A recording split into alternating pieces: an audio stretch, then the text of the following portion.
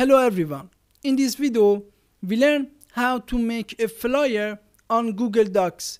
In first step, open Google Docs and on the top, click on template gallery.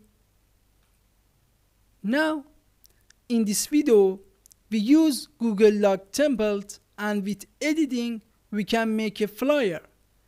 Now, based on your needs, choose any template you want and for example I choose this one. Now click on it. Now as you see in this document we have a header image heading some text and again heading and text. Now based on your need you can change this template and make a flyer for your project for example, on the top, if you click on the header, double click on it, you can delete the header and add your header. Also, you can, with these tools, change the size of your header. Also, for image, if you want change the image or delete your image, just press the delete button and that image will be deleted also if you want move this image one click on that and from this menu click on in front of text and from this menu choose fix position on page.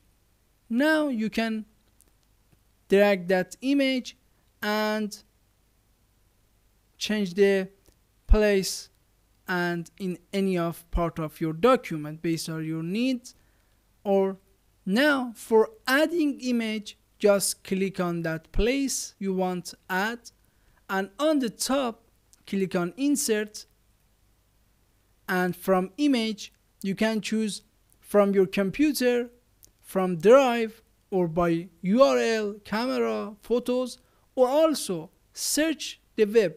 Click on it. Now you can search any image for example I want to show you Google logo and after search and find with your mouse drag that image in your document. Now again for moving this image click on in front of text and choose fixed position page. Now you can resize or change the location based on your need. For project name, you can select that text, you can delete or add new text.